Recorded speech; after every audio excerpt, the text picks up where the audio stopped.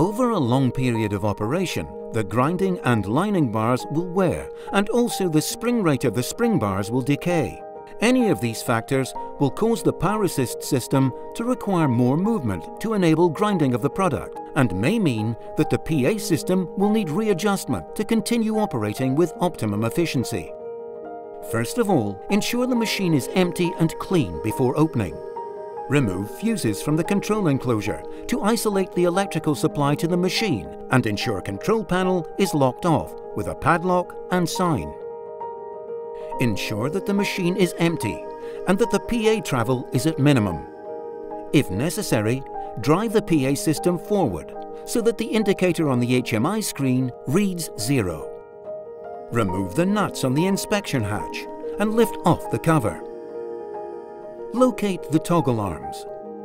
To increase pressure, increase the length of the toggle arm by loosening the lock nut on the toggle arm and rotating the ball joint end of the toggle arm by equal turns on each arm. The arm should be adjusted to allow the grinding bar to exert a moderate force against the lining bar. With effort, it should be possible to lift the end of the grinding bar from the lining bar.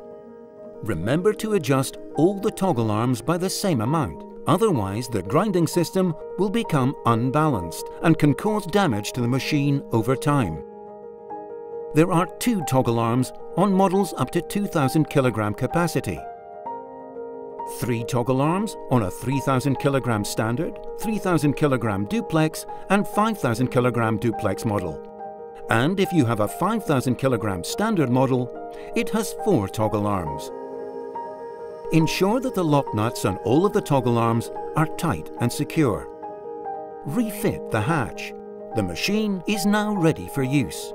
If new lining and grinding bars have been fitted or tension springs, ensure the adjustment is carried out on the toggles to decrease pressure decreasing the length of the toggle arms by loosening the lock nut on the toggle arm and rotating the ball joint end of the toggle arm by equal turns on each arm.